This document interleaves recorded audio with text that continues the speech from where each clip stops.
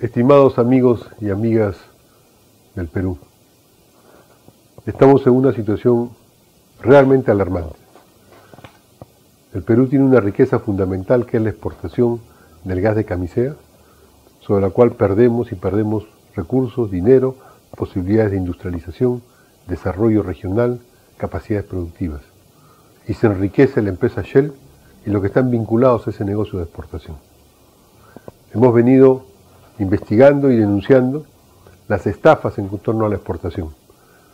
Las 10 estafas que el CIADI logró que el Perú recupere su soberanía, las 19 estafas que luego se han hecho en exportaciones parciales, que han sido denunciadas y que hasta ahora no han pagado plenamente lo que deberían haber pagado, y las nuevas últimas estafas que se han venido haciendo en los siete embarques que le vendió Trafigura a México, como si le hubiera eh, vendido a precio Henry Hub cuando lo vendió a precio Japón, o sea, no a 2 dólares, sino a 17 dólares en un de BTU, y no pagó la regalía correspondiente al Perú. Bueno, en medio de esa situación, yo he presentado ya un informe de la estafa de la exportación del gas. Este informe ha significado no solamente los últimos años, sino en especial el último año de trabajo. Y este informe está en la comisión investigadora y está también en la comisión de eh, Energía y Minas del Congreso. Este informe está ya para discusión. En medio de este contexto, el ministro de Energía y Minas acaba de denunciar, ya ha salido en el diario Gestión el día último, el día 4 de mayo, donde dice que en julio el ministerio prevé culminar la renegociación del contrato de exportación con México. El ministro ha estado en la Comisión de Energía y Minas y no ha dicho esto en la comisión. No ha tratado este punto en la comisión, por más que fue el tema que yo traté con él en el interrogatorio en la comisión. ¿Qué es lo que está ocurriendo? Estamos hablando de 20 mil millones de dólares que significa el contrato de exportación en los años pendientes. 20 mil millones de dólares. Ese es el recurso que podemos ganar o perder. Y estamos hablando también, tal como lo evidencié en el documento que he presentado, de que la Shell es ahora la propietaria real del gas. El Perú le ha entregado a la empresa Shell la soberanía sobre dónde lleva el gas, cómo lo vende, a cuánto lo vende, con qué ganancia se queda y qué nos deja de ripio a los peruanos.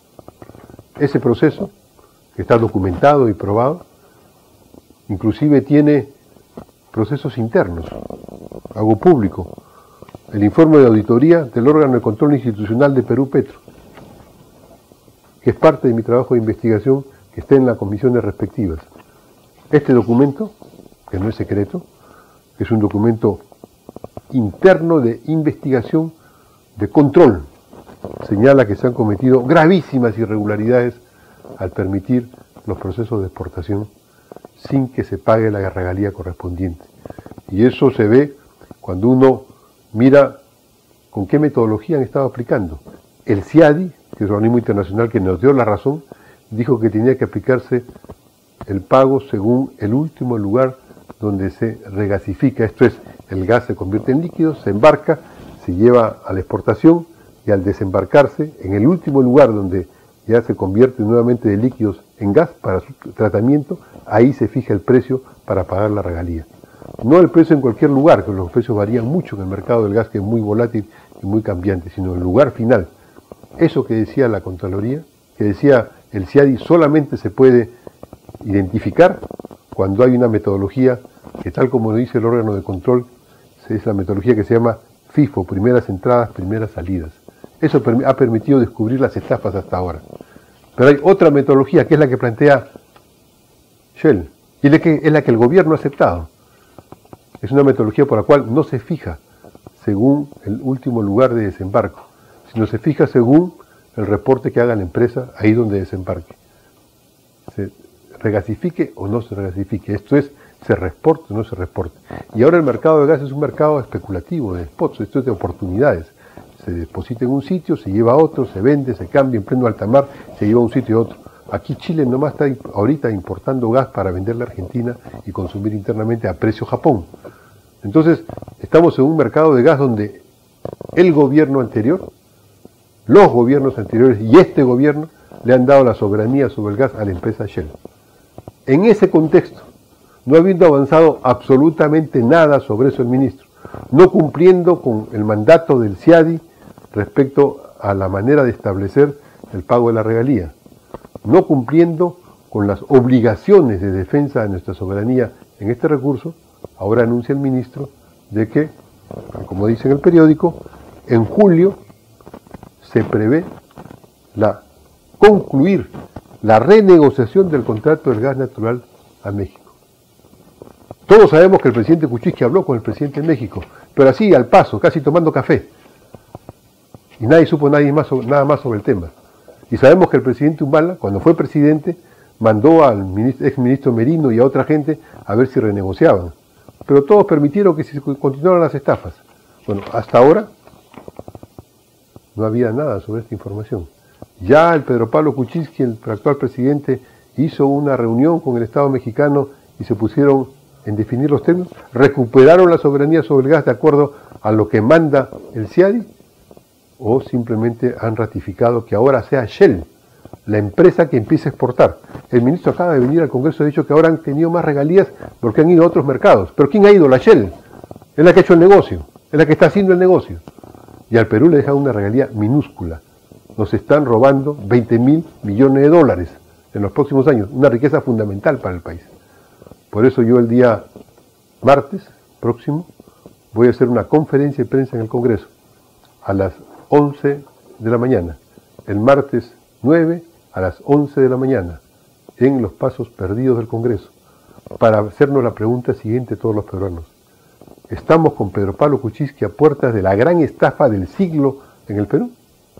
De 20 mil millones de dólares al ratificarle a la Shell la soberanía para que venda donde quiera y nos pague la, regalía que quiera?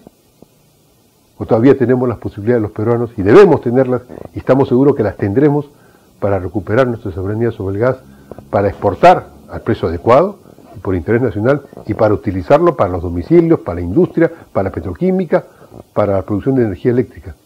Eso es lo que tenemos que discutir y definir. Y espero que el Congreso tome cartas en el asunto. El proyecto de ley que he presentado al Congreso es un proyecto de ley, el 001, el primero de esta legislatura, cuyo tema principal es plantear abrir la renegociación Perú-México, en base a términos soberanos, no en base a una gran estafa. Este martes entonces, martes 9 a las 11 de la mañana, veremos si estamos ante una gran estafa, colosal, inmensa gran estafa, o si todavía el gobierno no ha caído en eso, y todos los peruanos tenemos que exigirle, tenemos que movilizarnos, tenemos que crear conciencia, tenemos que lograr los acuerdos institucionales, sociales, económicos, del conjunto de fuerzas, porque este no es un tema de un sector, es un tema de la patria. Debemos lograr recuperar ciertamente el gas de camisea para el Perú, para la petroquímica y para todos sus usos, y sus recursos extraordinarios de ganancias que sirvan para el desarrollo nacional que sirvan para la reconstrucción, que sirvan para la educación, que sirvan para la industria, que sirvan para la tecnología.